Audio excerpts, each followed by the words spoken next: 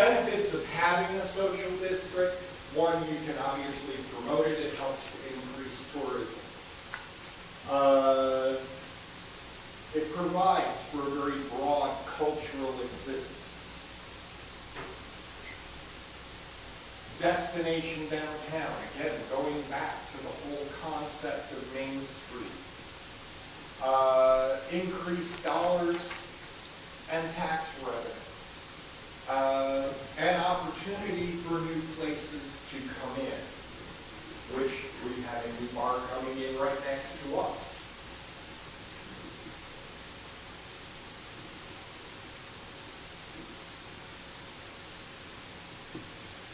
One of the more interesting facts that I found in studying the places where this already exists.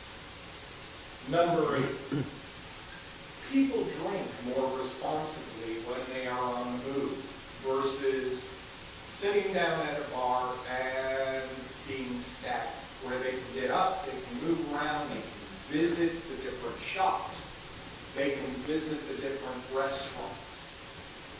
They're not held to a set location. They actually drink less because they're moving and they don't have the problems that you would think you would have. Uh, you look at the experiences from other locations, not only here, but Mississippi, Alabama, Ohio, Louisiana, Georgia, Oregon, Missouri, Nevada, Florida, and cities here in North Carolina, they've not seeing really any increase in criminal activity. I figure my voice is loud enough to carry. Not the listening public. Um, But they're not reporting an increase, and in fact, in most places, they're recording a decrease in crime because people are drinking more responsibly, and there's more people out there. Uh, And talking with Michael, it's funny because people get stupid and what do they do? They get recorded on camera now. It's not just the cameras that are in cities. So all of these things help. Virtually every district reports an increase in both taxes and merchant revenue. And by starting with the trial period and hitting a specific geographical location, most places have actually expanded it where they can walk even further and do more.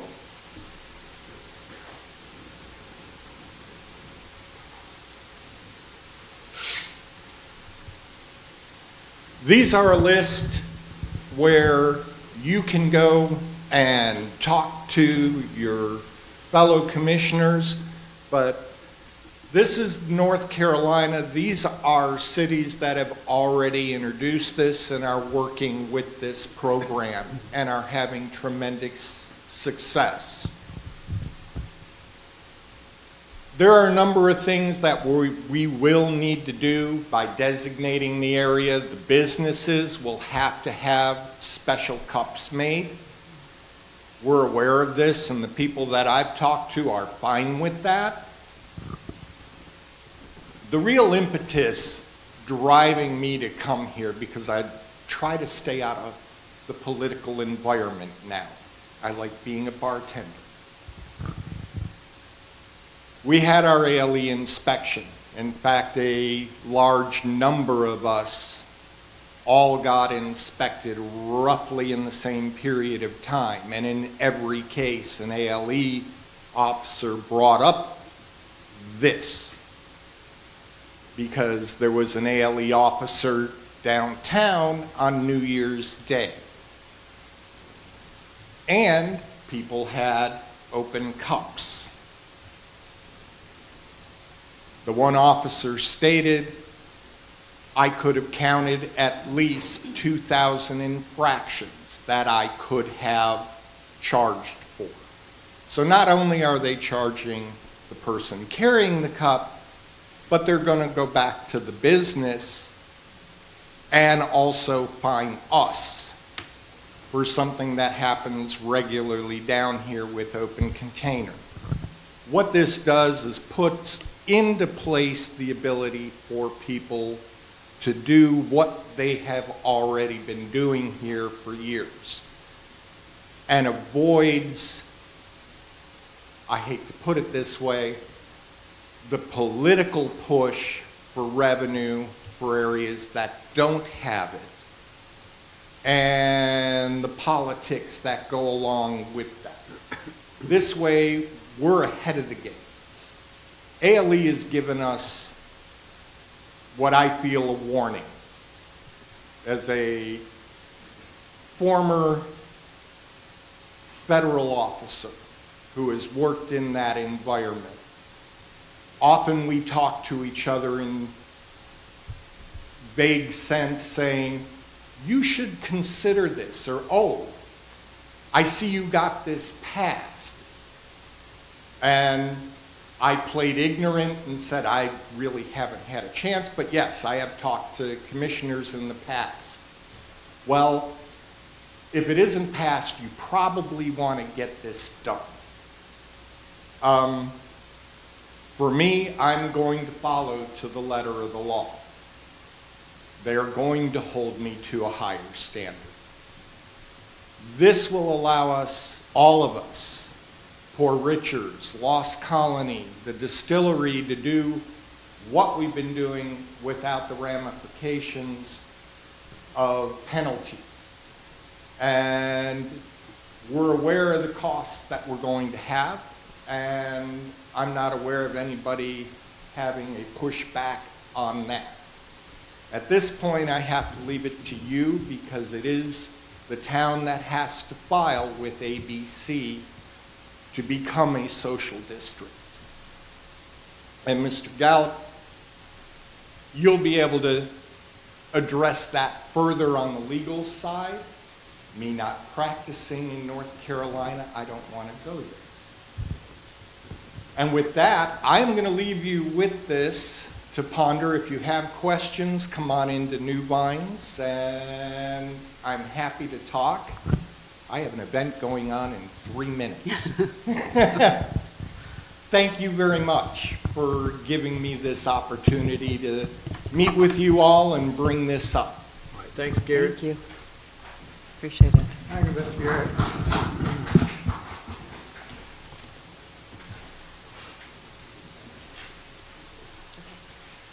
Mr. Mayor, um, the next presentation is a presentation by Mr. Peter Thompson from Harbor Towns, Inc. Um, and I, I think we worked out our technical error. We can just give, um, Carl just a second to pull up their PowerPoint presentation.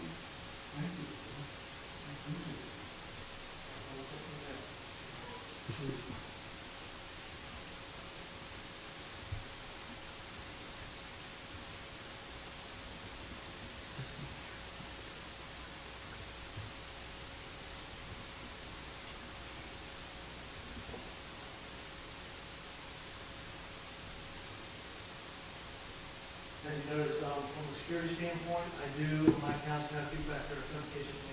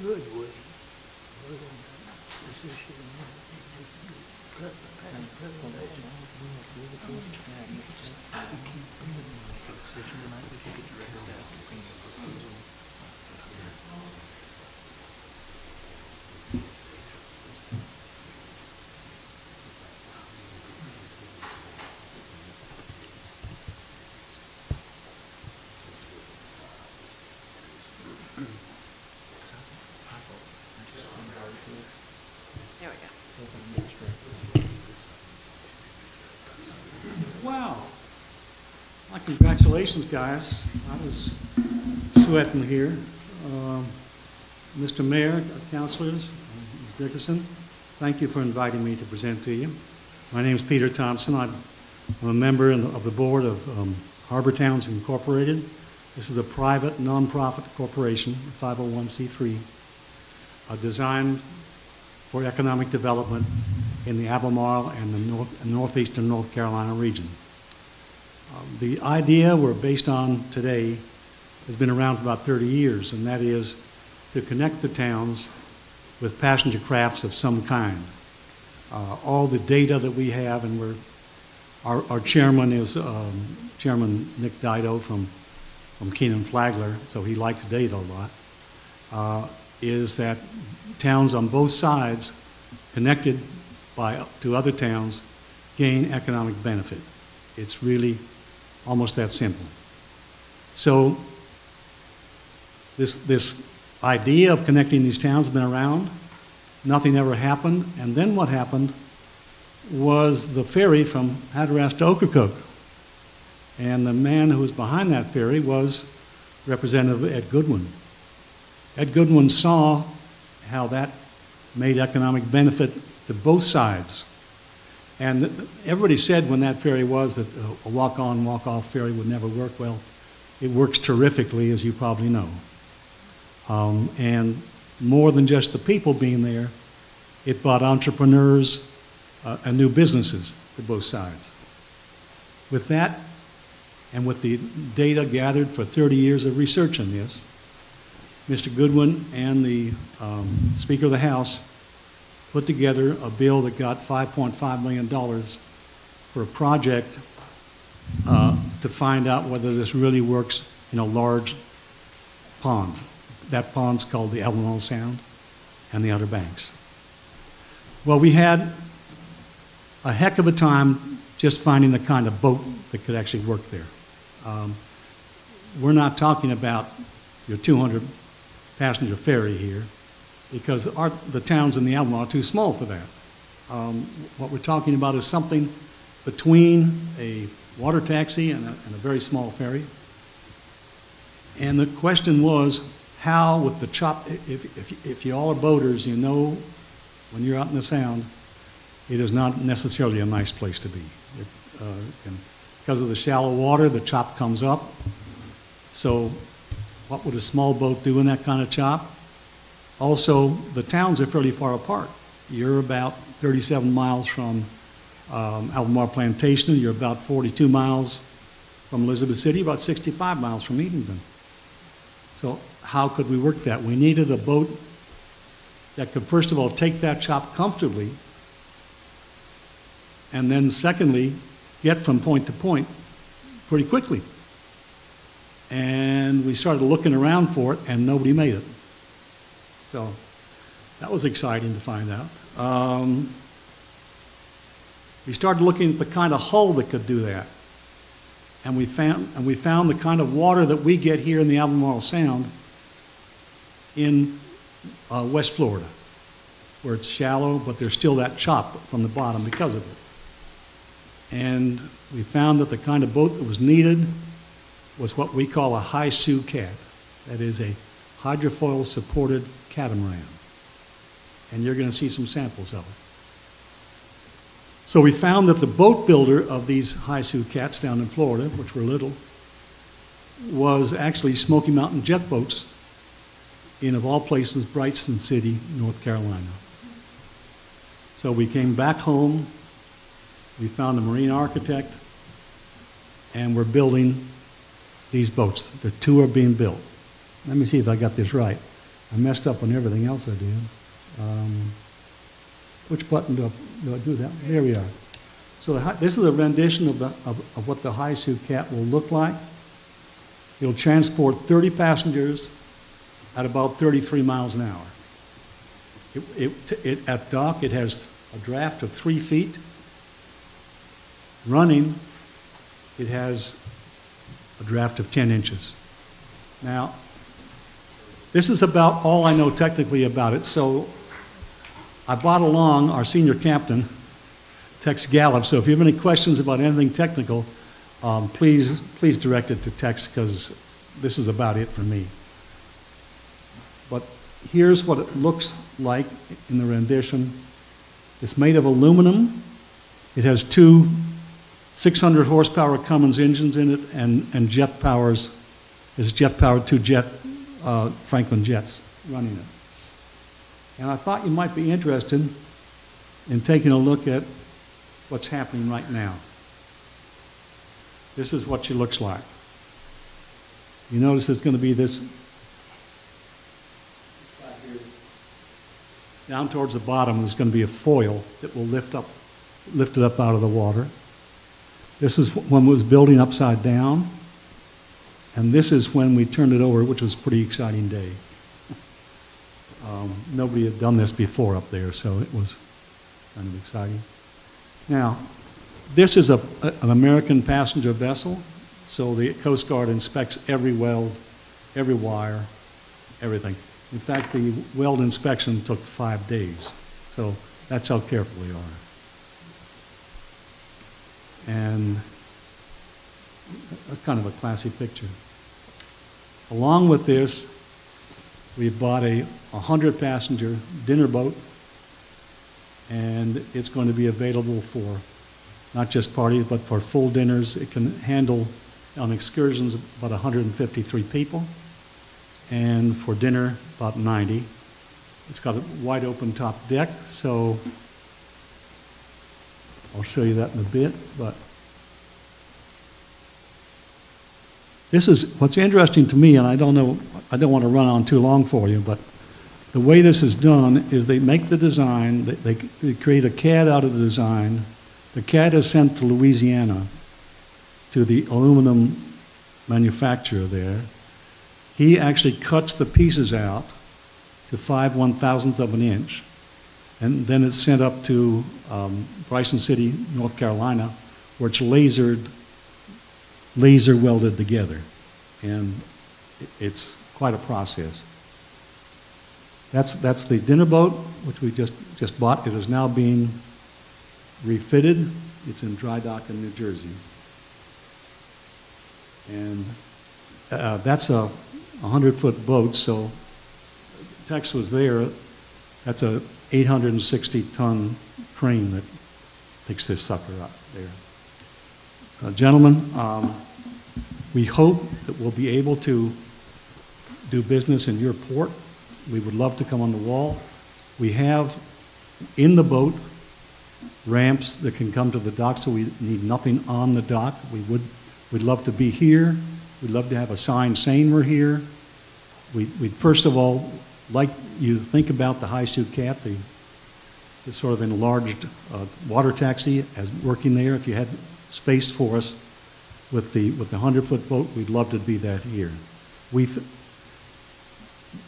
last comment I want to make to you, we have uh, websites up talking about this, obviously, and, and, and a, a thing on Facebook and that. We're asked only two questions, generally speaking. We have two, people ask a bunch of different questions, but the two questions that they say is, first of all, when's it coming? And the answer is May 15th. And the second question is, are you going to Manteo?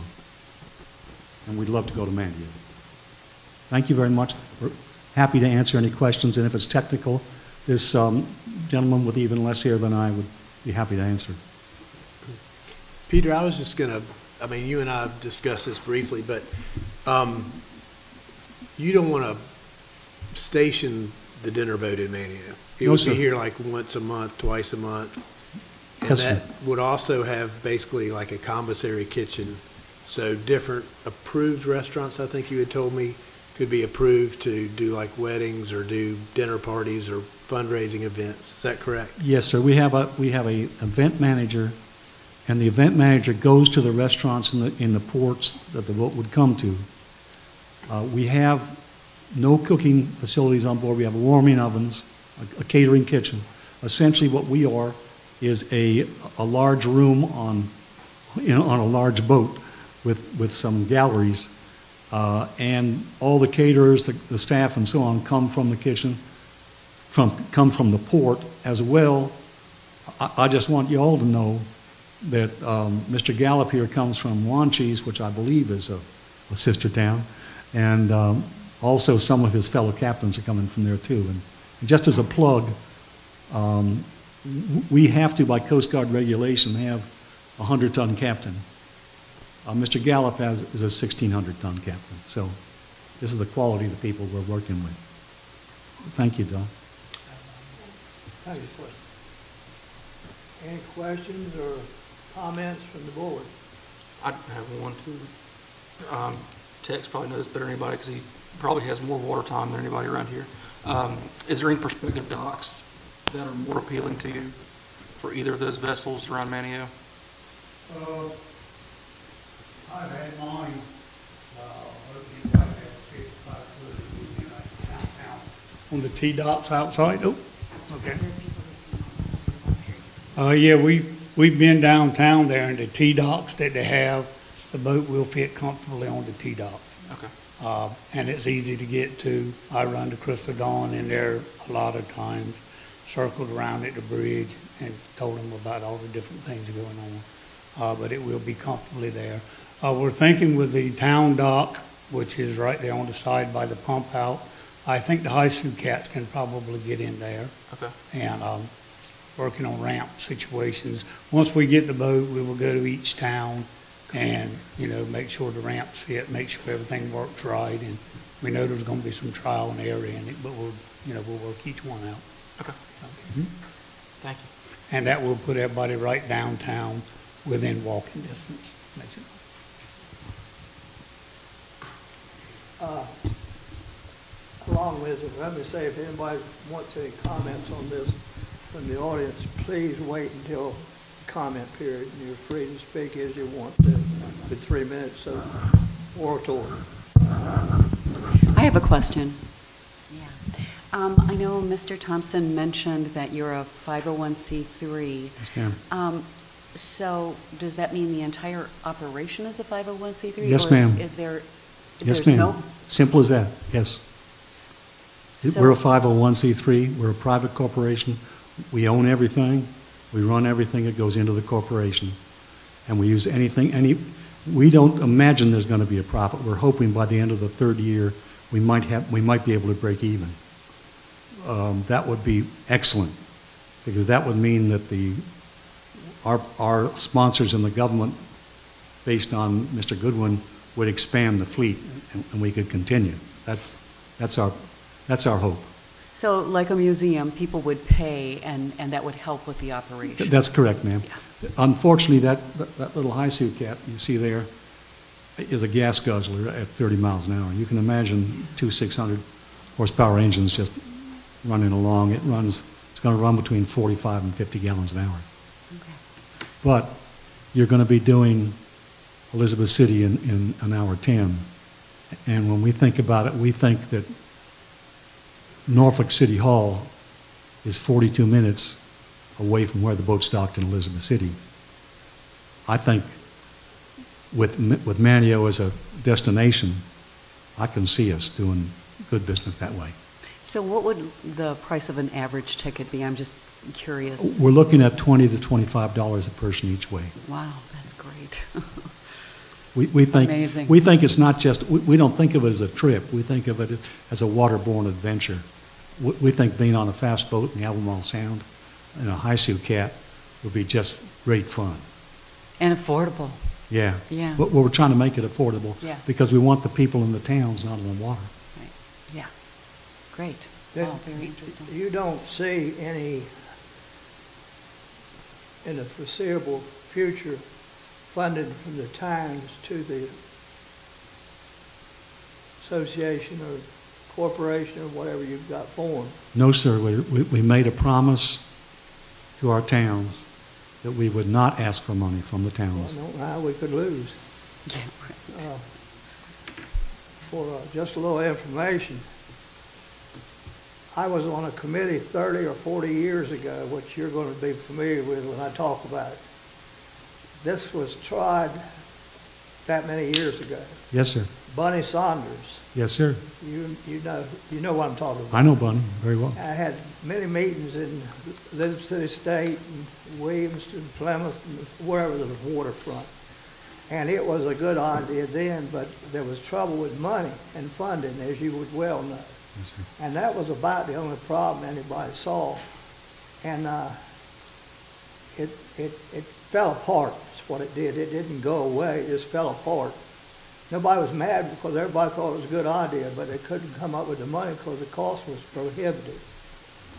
And, uh, so I'll leave you with that one.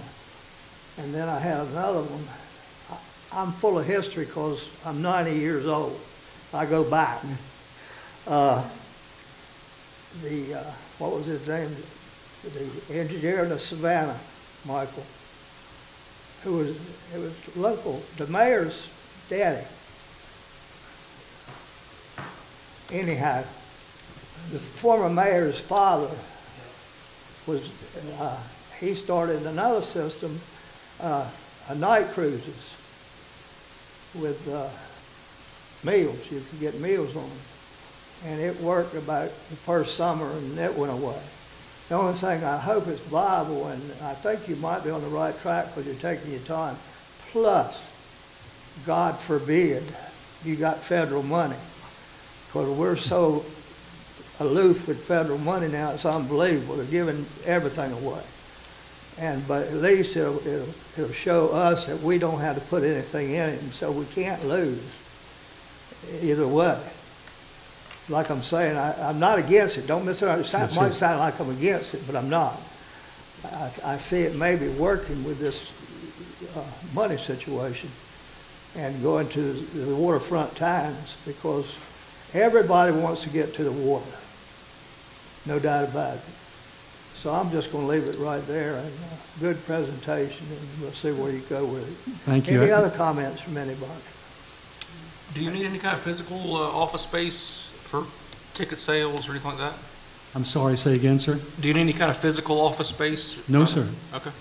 No, sir, we, we, it, everything, we will carry no cash on any of the boats. Everything will be done on, on pads, on credit cards, uh, and, and we have, um, we have one of the world's finest organizations, uh, doing the IT on this, so we feel very comfortable with that. It's called, uh, Go, uh, FareHarbor is what it's called, and it, it runs eighteen hundred businesses on the water. So we feel good about that. Um, If I may, I would like to just take a moment to thank, thank Woody and and Ms. Dickerson, because I, I bought a, a, a file from an Apple here, and they just made it Well, work. you, you got a good, one of you captains is first class because he's a Dare County, and, and if you, after you hear him talk, you know where he's from. Well, well- well, well, so is going to be our bartender, and he's bringing the other captains in. Like, Yeah. I want you to All know. right. Thank you so much. Thank you so Any- much. Any other questions for the board? That's good. Thank you. Thank you, Peter. Mr. Mayor, I'm ready to go if you are. Go ahead. Okay. Um, The next item on the agenda is um, a staff update, and um, I just wanted to take a couple of minutes to give you all, um, you all get my typical Friday updates, but um, with the folks here in the audience and the listening public, I thought that it- it's probably a good time just to check back in and give folks an idea of where we are on a number of things that we've got going on in town. So um, So with that, we'll go ahead and start. Woody, are you going to flip for me? Okay, so um, the first update I want to give is um, on the Shallowbag Bay lift station. Of course, on Friday, um, in my update, I explained to you all that the lift station is online and has been online and um, seems to be operating well. Um, So the last things of that project are beginning to kind of um, close in. So um, they're framing the parking lot, the remainder of the parking lot today. They've demolished the old 1940s lift station. Um, And they, tomorrow, they will be working on the storm, surprise stormwater project that we have in the same area. Um, So we are moving forward, and it's really exciting. We are, we are finally um, beginning to see the light at the end of the tunnel, um, and we are super thrilled um, about that. I did, um, or we did, I should say, staff did this week, um, purchase some rocking chairs for the porch um, that we have here at Town Hall. So as soon as things are cleaned up around that site, we'll get those rocking chairs on the porch so people can enjoy the view and, and the shade that the porch offers. So um, got a couple of pictures here. Um, These are from today, so the one on the left is um, the crew framing up the remainder of the parking lot over top of what was the old 1940s lift station. And then on the right, um, of course, these are, um, the large uh, power terminal is the terminal that will um, power, or is powering, I should say now, the lift station. And then the ones to the west of it or to the right um, are relocated from where that stormwater pipe um, has failed. So now we're able to get to that pipe to make that um, fix. Um, The plan is to see if we can't um, do a little enclosure around all of this electrical equipment, just a wooden fence um, to make it a little prettier. So we're going to begin working on that and making plans to do that in the short term. Um, The next update is that the town common restroom, um, the handrails that did not meet code have been removed and are back at the facility to um, be changed to meet the code, and um, then the painting crew will return um, and make some, um, uh, give us a little more paint than what they did on their first visit. So the next, the next item um, is that we have a number of items that require some tree work around town. And yesterday, um, I had a great meeting um, with the contractor who's going to help us with that. Um, One of the things that was mentioned at our last board meeting and has been on my list is to clean up um, the Bradford pears that, seven of them that line Queen Elizabeth Avenue. Um, They are in very rough shape. We do intend to replace them, um, and it has been, there's been a large push um, through um, North Carolina Forestry um, to replace Bradford pears with native trees, and so that's, that's kind of what we would like to do too. So um, we're going to trim them up for this season, make them look a little bit better, they're kind of straggly, um, just to get through one more season, and maybe next winter, move forward with removing them and moving on. Um, So in George Washington Creek Park, Woody, if you'll just flip, yep, you're good. Um, In George Washington Creek Park, we have this line of vegetation um, that includes these overgrown shrubs, a Bradford pear, a large pine tree, and then additional shrubs um, that are all kind of overgrown. And um, what we'd like to do is kind of start with a clean slate um, at the park. The next picture shows how those shrubs are overgrown, and in the evening, um, they are much taller than I am, which doesn't take much, but um, you can't see on the other side of them, so it is kind of a safety concern too, in, in a place where people are coming and going because the restroom's there. So um, we're thinking that we will um, first go ahead and remove um, that vegetation um, lining the street, and then come up with a plan of what we can replace it with moving forward.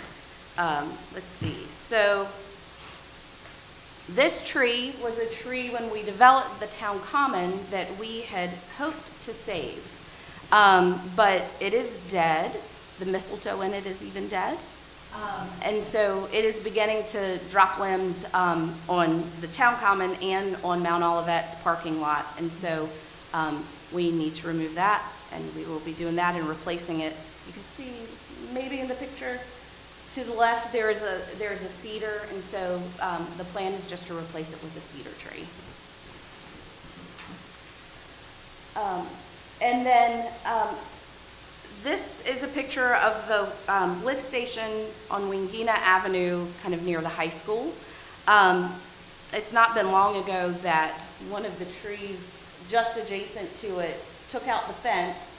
Um, And so we need to get that removed and cleaned up. And then um, on the right-hand side picture, you can see that there is a tree um, that is a little bit further away from the tree that fell, but is dead and um, kind of a threat to well, the entire lift station, but also our SCADA um, tower there. So um, that's the work that we're going to be moving forward with. Question? Um, As far as the tree work is concerned, and then where we are replacing things, um, we'll be making a plan at the same time to move forward with that. Um, So, um, more updates. Um, There's a lot going on in the Community Development Department, and um, Michelle is not with us this evening, but she is watching. So she would want me to tell you, like I did in my Friday update, that we are currently accepting applications for um, the downtown market vendors. Um, The last I heard, she had um, more than 25. Um, There are about 42 slots, so um, we, we hope that we have a good wide range of diverse vendors, um, and we want those applications to keep coming in. So if you're interested, let us know, give us a call, reach out to me or Michelle, and we'd be happy to um, get your application um, in and help you with that. Um, We are also very active in planning um, for Dare Day and July 4th. Um, And then we currently have three requests for qualifications um, pending. The first is to see what kind of interest we could gather on having a Chief Manteo statue developed. That response date is March the, March the 1st. Um, And then we have two um, requests for qualifications out there um, for wayfinding, um, which has been a big topic. It's been funded in the budget for the last few years. We thought it was important to become a Main Street town. Um, And now that we are there, we have um, released this RFQ. And then along with wayfinding kind of goes a branding plan. And so um, we split those apart because it looks like um, when we were looking at the companies that do this work, that those are things that um, might attract different kinds of companies. So um, we kind of split that apart, but um, nonetheless, those are due on March the 7th. And um, by the email traffic we are seeing, we are going to have a lot of interest in both of those, and we're really excited about that. I did want to note that the Pea Island preservation events that were scheduled for this coming weekend have been canceled.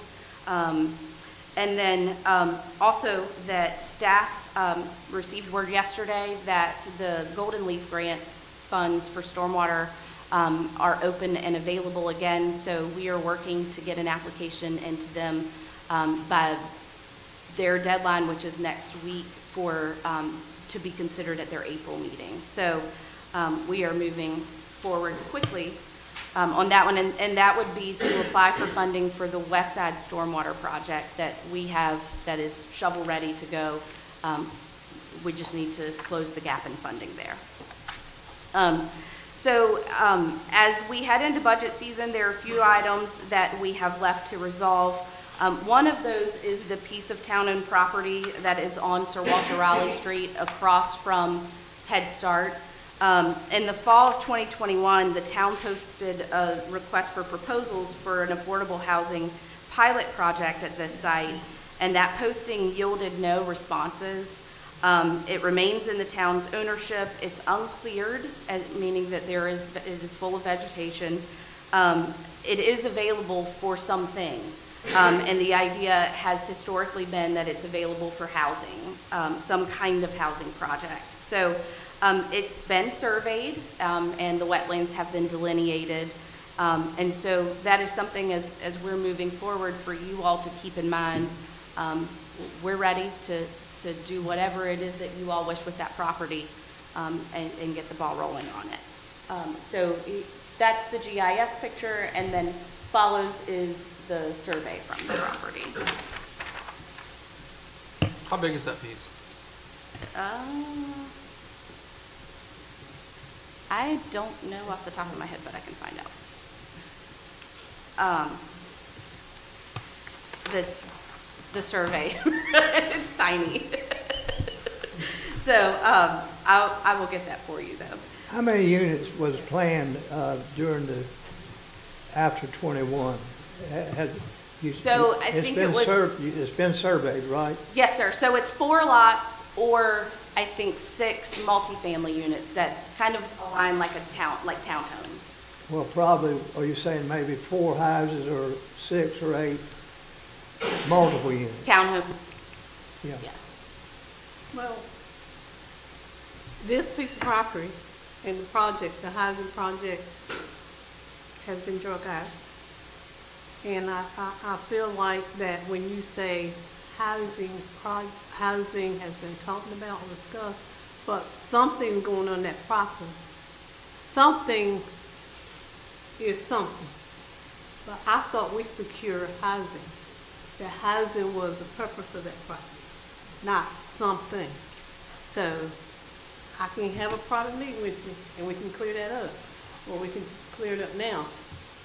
Uh, I think the former manager, James, had drawings of little houses on there. I don't know, if that should be in the file. Those were included in the request for proposals that no one responded to, yes. Okay, okay. Well, We have those. Okay. And that, um, RFQ, Under an acre. that went out all over the whole state and all that? It did. Just- Okay. But, sure, and, and that's, uh, I bring it up because I'm, I'm acknowledging, this is one of those things that, that we can get moving on, we can, it, what, whatever the Well, pleasure let of me, the let me is. ask you a good question, I didn't mean it to nobody. Sure. What's holding it up, so we'll know? Well, at the time, when the request for proposals went out, it was for multifamily, but nobody responded to build a multifamily project there. So the easiest way to get homes on that property is to subdivide it into lots and to sell them. But we can continue, we can put another request for proposal out and see if somebody wants to build multifamily units there, or we can subdivide it and create lots for people to build homes on. Well, we need housing more than we need land. I think I'm one of the rare people in Dare County, from what I'm reading here, and hearing, that still support affordable housing. Uh, I don't want to make nobody mad, but uh, it, there's a mentality out here, it seems, not in my backyard, but I'm all for it. You can't have it both ways. Sure. Uh, And if we've got chance, I'm saying the time that many of us commissioners have got a chance to get started on something to move forward, then I personally, even though I don't have a vote, think we ought to get moving forward with it. But I would just- That's up to the board. Well, my comment would just be to re-advertise it again and just see what kind of feedback we, Okay. we get. And if we don't get anything, then I think we as commissioners need to decide the next move, either divide it into smaller lots and have them affordable for people to build what they want to do. But, um, yeah, I mean, it, sitting there is not going to do Well, much, so just try. Why to- can't we do it both simultaneously? Can't, can we not do that? So, um, put a proposal out there for either or? Well, I, I think one, we could probably do very easily as staff, the subdividing. I Well- mean, we'll have to hire a surveyor to, to do that work, but much of the work has been done. Well- Yeah, I was just thinking it would, um, it would hedge our bets on the delay if we, if we put the multi-housing, um, proposal out there and nobody did anything. And if we could do them simultaneously, at least we would maybe get the, um, the regular housing, so we could move forward more quickly. I think that's what I'm hearing from Mayor Pro Tem. Sure. I think we could work that out and with some assistance from the town attorney. Is he grimacing? Well, my, my problem is, I'm, I'm confused. We all know you can't get builders, we all know you can't get materials, but that's changing now. Uh, materials and costs and everything is dropping so fast, it's unbelievable. And why would a builder not want to build a, a, a unit rather than a house? I mean, I know you can't answer it, but I, I would like to find out that question, because a coroner is a coroner. Sure. What, and that's why I bring it forward to you, because I think the climate is much different today than it was in the fall of 2021 when this Well, request for 21 it was proposal went 21 out. was, uh, Ayers was here. Well, I, I just asked, I'm, no problems. Sure. Okay. So I think we're in- all in agreement that she needs to repost it, re-advertise, and then Yeah, I do we can see how that goes. See and- where we go with it. Okay. Okay, and so I've just got a few more Is the things. board, is the board all right with doing that? Reposting and uh, re-talking and see where we are, what So- happens? I got a question. So everything as far as the land, the engineer, Army Corps, or engineer, 'cause I know that was a, a, a question, we all good with that? That's all been done. Thank you, thank you, So we're still on go? Yes. Good, okay. thank you. All right. Is everybody through with that one? Well, I I have a few more comments back to my update, but if we're done with the uh, housing, I'll Yeah, continue. that's what I say, if Okay. you're through with that, just move on. Okay. Um, so most of those projects I've just mentioned, um, are things that the town is pursuing, and it's a lot. Um, but what's more is what's happening in the private market. Um, Southern Bank is moving into town soon. PNC left town, and that real estate is available for purchase. The Pioneer Theater is now under new ownership. The Manteo Medical Center project has been permitted. The Outer Banks Distilling um, is going to the planning board tomorrow for a building addition. The Elizabethan is under new ownership, the Elizabethan Inn is under new ownership. Um, It appears to be closed right now, um, but staff are, are well aware of, of that happening. Um, And then the subdivision on Bowsertown's new sewer connection um, was constructed just this week, and that finished today.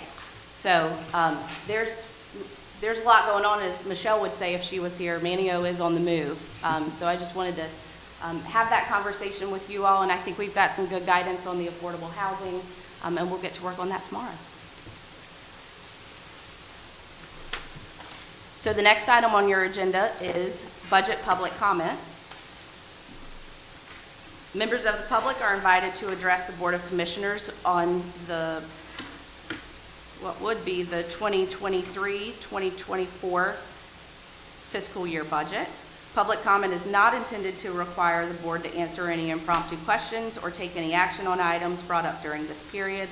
Speakers will address the board, but will address all comments to the board as a whole and not one individual. Discussions between speakers and members of the audience will not be allowed. Time limits are three minutes per person or five minutes per group. Please come forward to the lectern and identify yourself so that your statements can be recorded. All right, uh, now's the time for public comment period, would anyone like to be heard?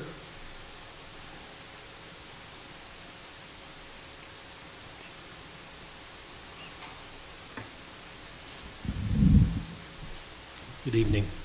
Michael Bass Knight. Uh, First and foremost, publicly, I'd like to say, Melissa, you're doing a fantastic job. Thank you. Uh, I've been on the other end of your attentiveness, and it's, it's impressive.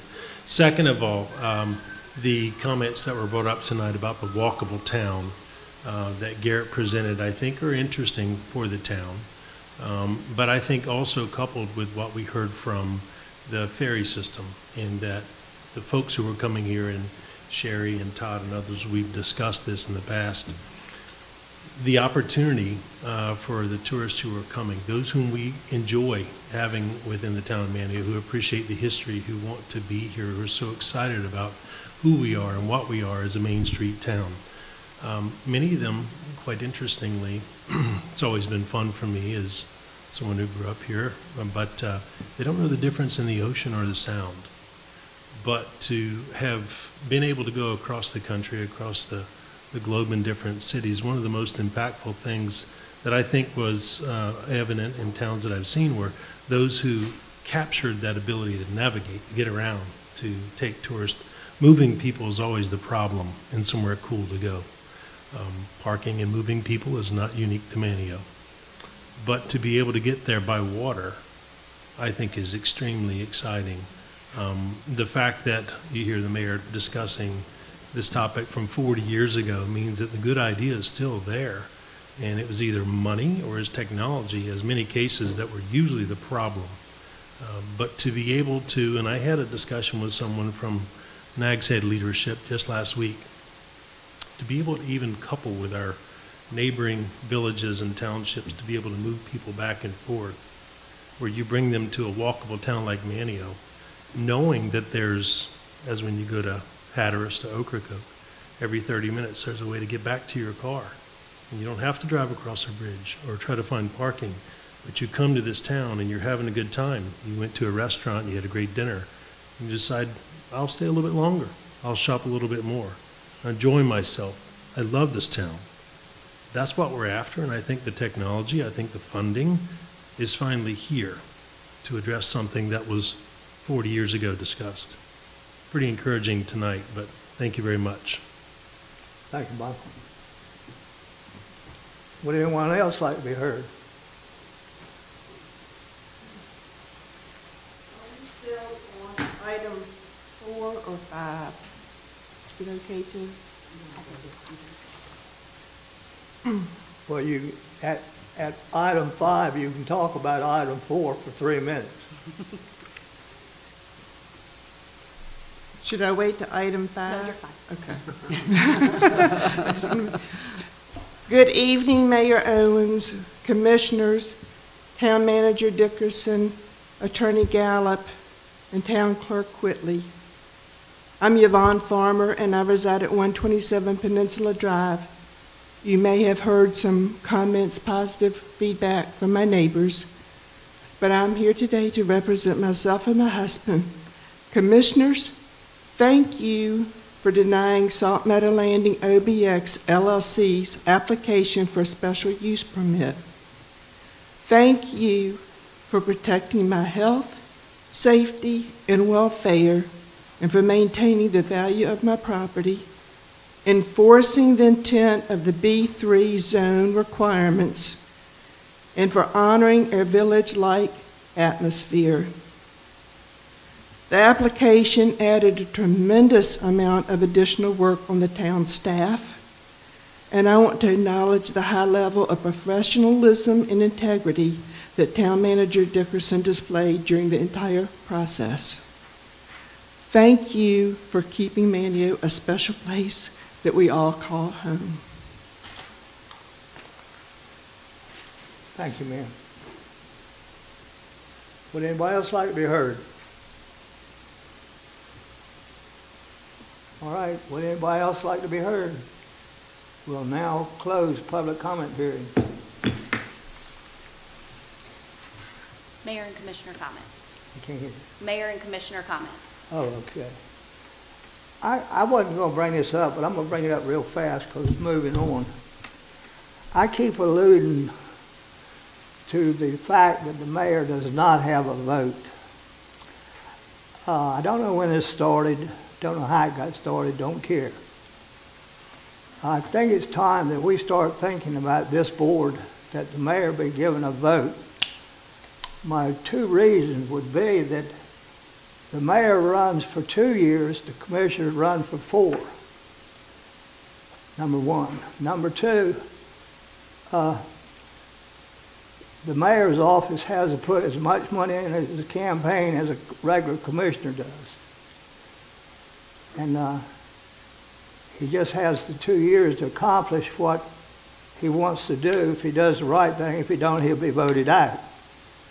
So I think it's time we start thinking about now.